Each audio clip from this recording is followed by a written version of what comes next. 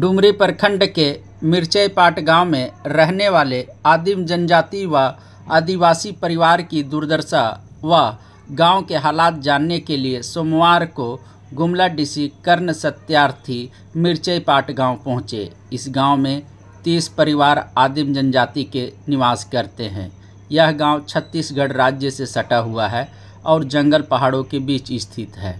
DC गाँव पहुँचे साथ में जिला समाज कल्याण पदाधिकारी व डुमरी बीडीओ उमेश कुमार स्वासी भी थे। अधिकारियों ने गाँव का दौरा किया। इसके बाद ज़मीन पर दरी बिछाकर ग्रामीणों से बैठक की। गाँव की समस्याओं से रूबरू हुए। ग्रामीणों ने बिजली, पानी व सड़क जैसी समस्याओं को उपायुक्त के समक्ष रखा, जिसके निदान के लिए उपायुक्त ने संबंधित अधिकारियों को आवश्यक दिशा निर्देश दिए। इस गाँव की मुख्य समस्या सड़क का न होना है। पहाड़ी क्षेत्र व अच्छी सड़क नहीं होने के कारण ग्रामीणों को पैदल ही मुख्य सड़क तक पहुँचने के लिए पाँच से छः किलोमीटर पैदल चलनी पड़ती है। उपायुक्त ने कहा है कि चुनाव को लेकर राज्य में लगे आदर्श आचार संहिता के खत्म होने के पश्चात अविलंब सड़क बनवाने की प्रक्रिया शुरू की जाएगी।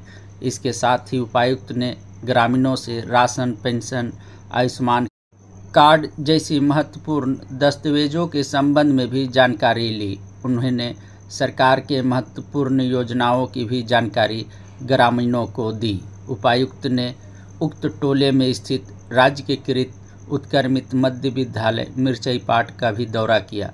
वहाँ के विद्यार्थियों से मुलाकात की। उपायुक्त ने विद्यार्थियों को छात्रवृत्ति व स्पॉन्सरशिप योजना का लाभ देने का निर्देश दिया।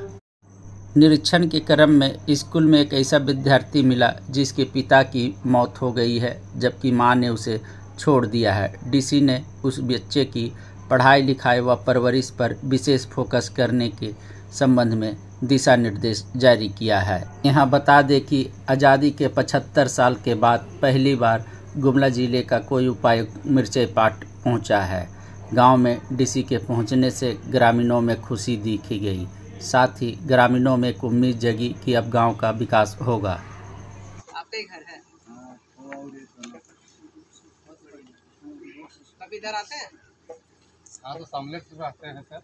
परिवार इधर भी रहता है? परिवार तो इधर नहीं रहते हैं मगर खाते पीते हैं सब सामने आप लोगों जाति प्रमाण पत्र बना हुआ है?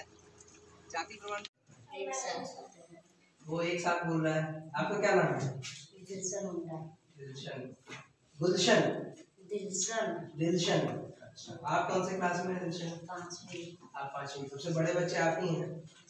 पांचवी के अब पांचवी में गए हैं या पांचवी पास कर गए पांचवी गए हैं पांचवी में। मिर्चई पाट गाँव पहुँचने के लिए गुमला उपायुक्त कई किलोमीटर तक पैदल चले। साथ में दूसरे भी अधिकारी पैदल चले। इस दौरान सुरक्षा के पुख्ता इंतज़ाम किए गए थे। प्रभात खबर डॉट कॉम विश्वास वही रफ्तार नहीं।